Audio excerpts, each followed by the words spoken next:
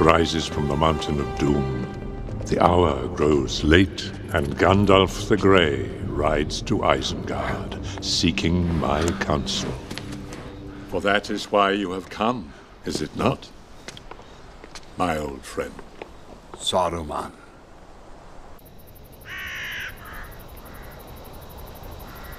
You are sure of this?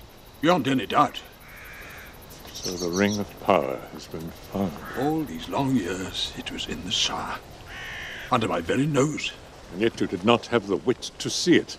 Your love of the halfling's leaf has clearly slowed your mind. But we still have time. Time enough to counter Sauron if we act quickly. Time? What time do you think we have? Sauron has regained much of his former strength. He cannot yet take physical form, but his spirit has lost none of its potency. Concealed within his fortress, the Lord of Mordor sees all. His gaze pierces cloud, shadow, earth, and flesh. You know of what I speak, Gandalf. A great eye, lidless, wreathed in flame. Yes, Sauron. He is gathering all evil to him. Very soon he will have summoned an army great enough to launch an assault upon Middle-earth. You know this? How? I have seen it. A Palantir is a dangerous tool, Saruman. Why? Why should we fear to use it? They are not all accounted for. The lost seeing stones. We do not know who else may be watching. The hour is later than you think. Sauron's forces are already moving. The Nine have left Minas Morgul. The Nine? They crossed the River Isen on Midsummer's Eve, disguised as riders in black. They've reached the Shire. They will find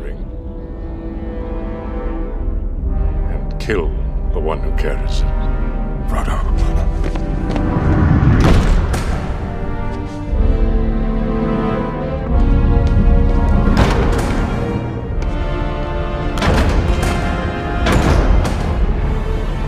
He did not seriously think that a hobbit could contend with the will of Sauron. There are none who can.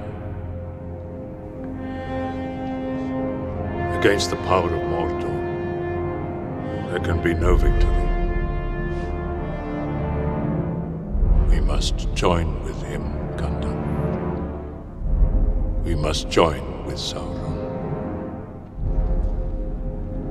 It would be wise, my friend. Tell me, friend, when did Saruman the Wise abandon reason for madness? I